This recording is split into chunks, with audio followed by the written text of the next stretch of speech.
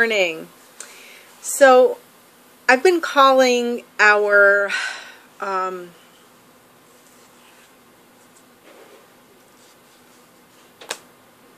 lost my train of thought.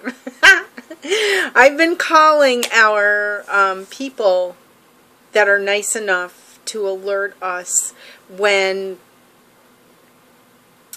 someone advertises or if there's any bullying going around, which, you know what, we really haven't experienced that in a long time, knock on wood.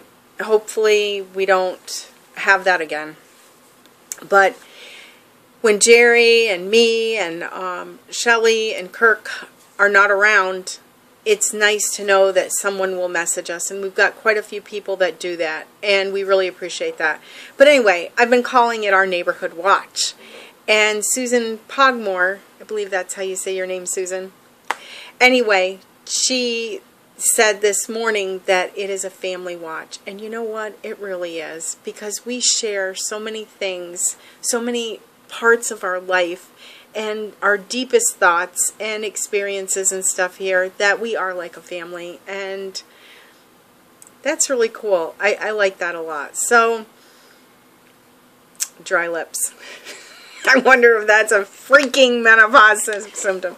Anyway, well, dry skin is right. On that note, if you haven't joined our group, Menopause Anonymous, I will put the link here. Please do so. Um, for our YouTube people, it's on Facebook. And we talk about all the other menopause symptoms, not just anxiety number 21 and depression number 20, which this group is mainly for. Um, there's a lot of that that goes around as we enter this wonderful time, and it needed its own group. So here we are.